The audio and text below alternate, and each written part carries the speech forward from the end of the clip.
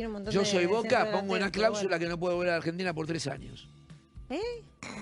¿Cómo se pone esa cláusula? ¿Por qué no la puede poner la cláusula? Secretario de Deportivo. Se enojó de más. ¿Sabes que no la puede poner la cláusula? Pero ¿cómo Sí, la puede pone poner. En un contrato puedes poner.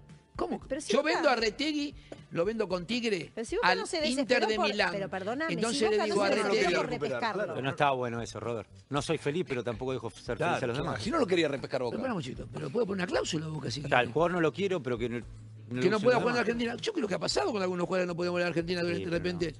Bueno, ahora, ahora No, se es- ponen todo, ahora no, ya eso es parece ilegal libertad de trabajo, No, es ya ilegal. estamos directamente que no se puede decir nada, ya esto cae mal. Estás No enojado, está bien. Estás enojado. No, Estás enojado. pero lo digo yo, si están abiertamente, están comiendo ahí donde están comiendo, a la vista de todo, y me está diciendo que... Creo que tiene malo.